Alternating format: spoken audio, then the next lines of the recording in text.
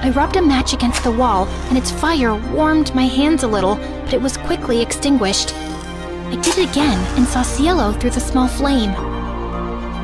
Cielo, but she disappeared as soon as the flame went out. So I did it again, but this time I saw Mom. Mom, don't go! Please, I miss you! She disappeared as soon as the flame went out, and I cried. Then I took all my matches and lit them all at the same time, and I saw my family. There was Lucio and Cielo eating roast goose while Mom was serving it. Mom looked at me and smiled.